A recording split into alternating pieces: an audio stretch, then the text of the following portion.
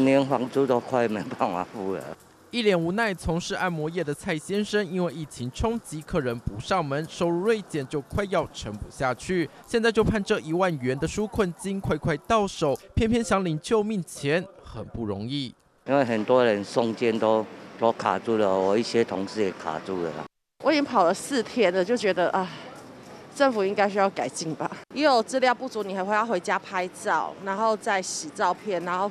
再再送交审核，然后只是送个件就要等两三个小时。十五号以内，来来回回搞不定，让区公所老师大排长龙，民怨也跟着沸腾。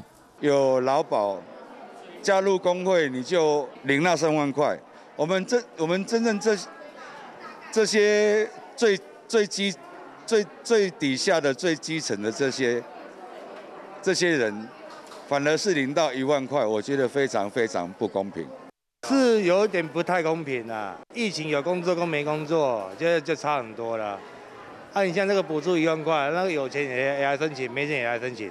政府给纾困金对象还要分门别类，真的很复杂。为了资格审核，中央地方不同调，也惹出争议风波。当初苏奎说中央审查，地方免责，结果新北市府送了九千多件到卫福部，还被批评来来回回增加负担。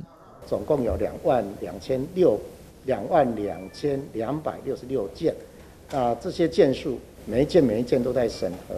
我希望今天能够超过四百二十件，所以我也跟我们同仁齐美，大家加油。但是也不要因为我们的从宽认定而乱花。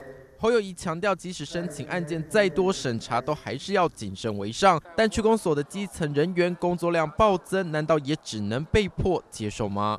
防疫期间的工作只有不断的累加、累加、累加，完全没有让他们有喘息的空间。而且每一个做法、每一个做法又是不太一样，他们压力真的很大。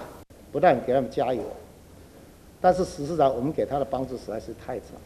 我只能跟他讲说，加班费何时来何发？喊话基层人员多担待，毕竟纾困过渡及政策磨合和横向沟通都必须更到位。环宇新闻送俊、徐国豪新北报道。